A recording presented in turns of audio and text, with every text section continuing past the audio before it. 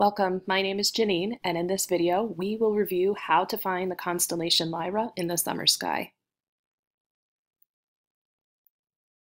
The constellation Lyra is one that is fairly small in the sky, but it is really easy to find because of its recognizable pattern and the bright star Vega that stands out within its borders. So when you take a look at this picture, the star that stands out, that is Vega. So let's take a look at the shape.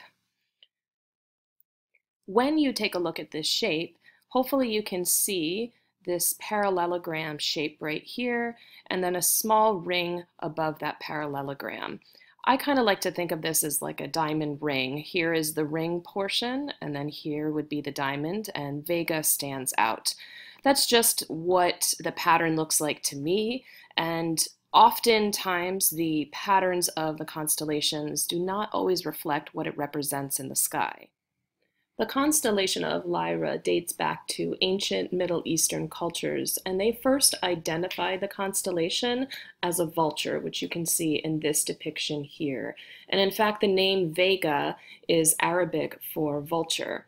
But the ancient Greeks identified Lyra as a harp. And this story goes back to the ancient tale of Orpheus and Eurydice, the tale of Orpheus and Eurydice in Greek mythology is a fascinating one. However, in this video, we're just going to purely focus on how to find the constellation Lyra. Here is another picture of Lyra. So as you examine it, see if you can find Vega. Vega is the brightest star in the constellation. Now can you find the parallelogram shape underneath Vega? So let's take a look at the pattern. Here we have the parallelogram shape, and then we have Vega, which makes up the bright part of the diamond ring.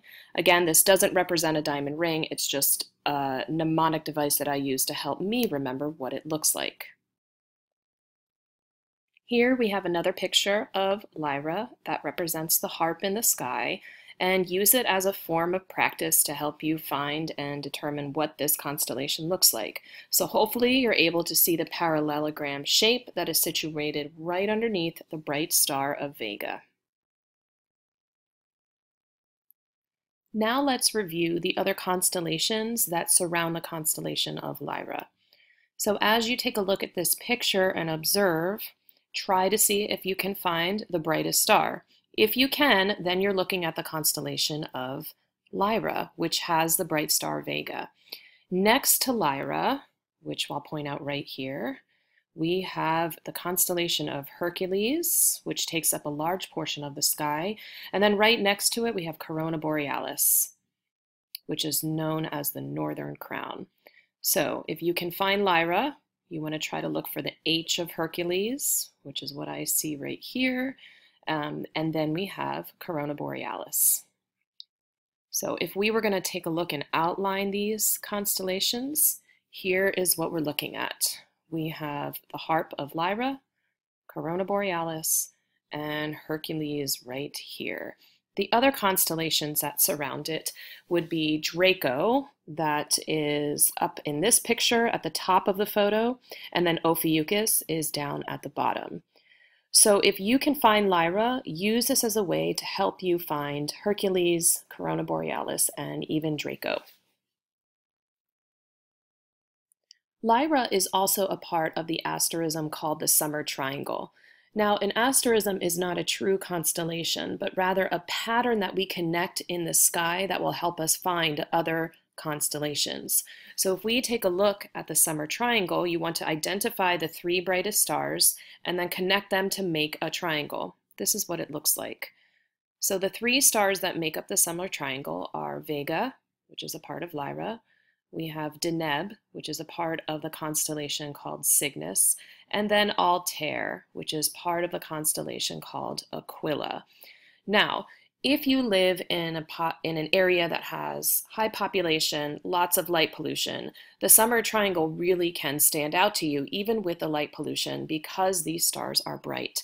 So now we'll break down what the constellations are and what they look like within the summer triangle. So here you have Lyra, and Vega is the bright star within Lyra. And then you have Cygnus, which is also sometimes called the Northern Cross, um, and rightfully so because it does make a huge cross pattern in the sky. And Cygnus is known also known as a swan in terms of Greek mythology, if you look at the background there. And then Deneb is the bright tail star of the swan of Cygnus. And then you have Altair right here, and this this picture only shows a portion of the constellation Aquila. And when you look at Aquila, Altair is really the only star that stands out in that constellation. And Aquila is known as an eagle in terms of Greek mythology. So to review, we have Lyra right here with the bright star Vega. You have Cygnus right there with the bright star Deneb. And then you have Altair in the constellation Aquila be sure to use the summer triangle to help you find Vega and the constellation of Lyra. So at this point of the video, I'm hoping you're becoming more familiar with the constellation pattern of Lyra. So if you're looking at this photo, you should be able to identify Lyra and then the parallelogram shape that sits right underneath Vega. So we have Vega right here, and then the other star pattern right there.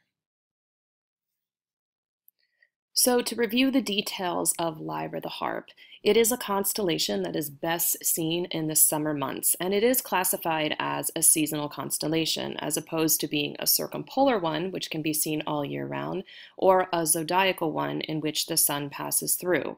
This constellation can be seen in the summer months. And if you can find the asterism called the summer triangle, Vega is the brightest star within the summer triangle. So that's the easiest way to find it. There are a few celestial objects that sit within Lyra. One is the Ring Nebula. So if you're interested, turn your telescope to this constellation and see if you can find it. Good luck with finding Lyra, and please leave any questions or comments below.